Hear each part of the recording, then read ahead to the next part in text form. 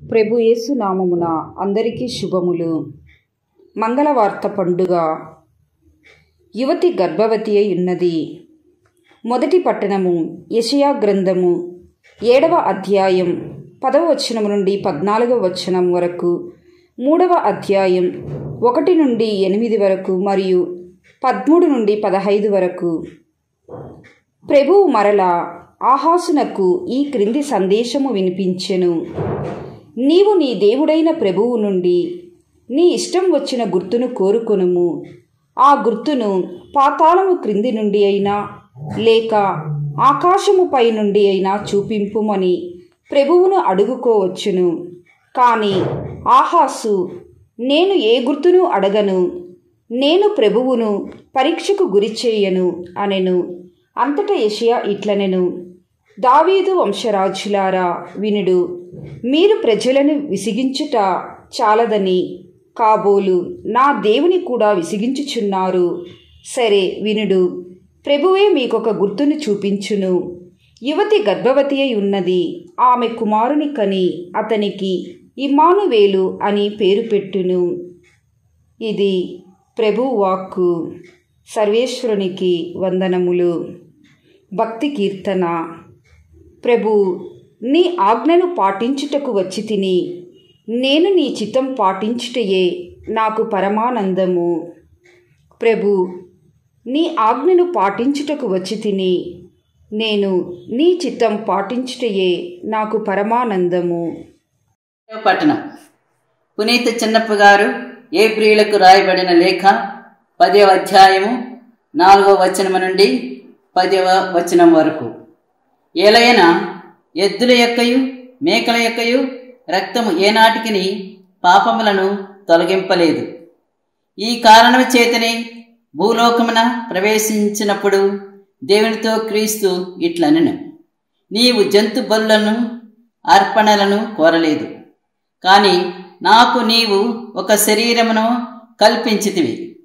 దహన బలులకును పాప పరిహార్థమైన అర్పణకును నీవు ఇష్టపడలేదు. అప్పుడు నేను ఇట్లంటిని.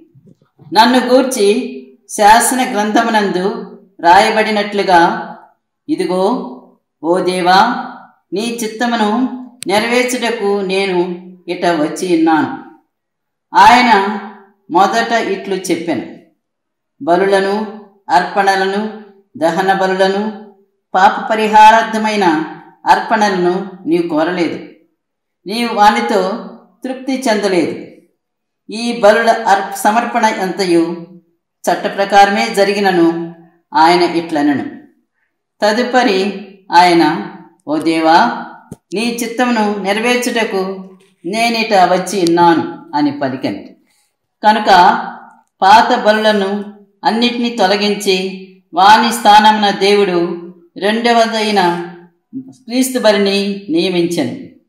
యేసుక్రీస్తు దేవుడు తనను కోరినట్లే నచ్చను కనుక ఆయన ఒకే ఒక శరీర బలర్పణ చేత మనమందరమును పాపముల నుండి శాశ్వతముగా పవిత్రులుగా చేయబడితిమి.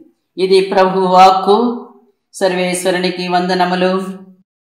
ఈనాటి సువిశేషము పునీత లూకా గారు వ్రాసిన సువిశేషము ఒకటవ అధ్యాయము ఇరవై ఆరవ వచనము నుండి ముప్పై ఎనిమిదవ వచనము వరకు.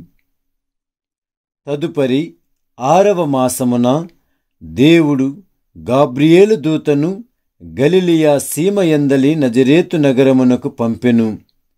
ఆ దేవదూత దావీదు వంశస్థుడగు యోసేపునకు వివాహము చేయబడిన కన్నిక ఎద్దుకు పంపబడెను. ఆమె పేరు మరియమ్మ. దేవదూత లోపలికి వచ్చి ఆమెతో అనుగ్రహ పరిపూర్ణురాలా నీకు శుభము. ఏలినవారు నీతో ఉన్నారు అనెను. మరియమ్మ ఆ పలుకులకు కలత చెంది ఆ శుభవచనము ఏమిటో అని ఆలోచించుచుండగా దేవదూత మరియమ్మ భయపడుకుము. నీవు దేవుని అనుగ్రహమును పొందియున్నావు. ఇదిగో నీవు గర్భము ధరించి కుమారుని కనిదవు. ఆ శిశువునకు యేసు అని పేరు పెట్టుము. ఆయన మహనీయుడై మహోన్నతని కుమారుడని పిలువబడును.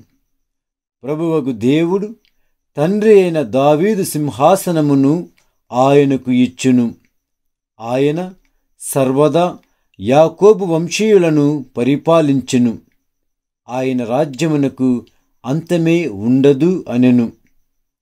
అంతట మరియమ్మ నేను పురుషుని ఎరుగను కదా ఇది ఎట్లు జరుగును? అని దూతను ప్రశ్నించెను. అందుకు ఆ దూత ఇట్లనెను పవిత్రాత్మ నీపై వేంచేయును.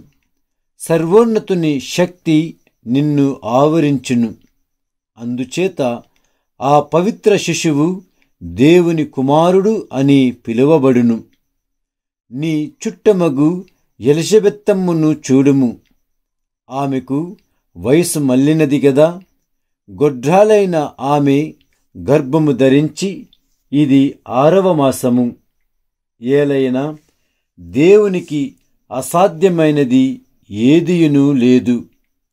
అంతట మరియమ్మ ఇదిగో నేను ప్రభువు దాసురాలను. నీ మాట చొప్పున నాకు జరుగునుగాక అనెను. అంతటా ఆ దేవదూత వెళ్ళిపోయెను. ఇది క్రీస్తు సువిశేషం క్రీస్తువా మీకు స్థుతి కలుగునుగాక.